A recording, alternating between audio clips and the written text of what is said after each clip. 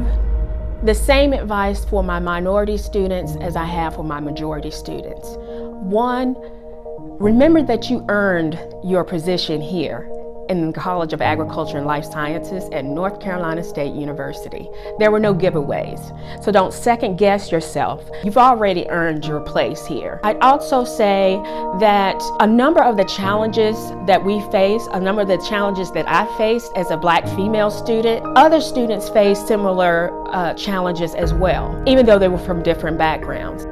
Expand your network.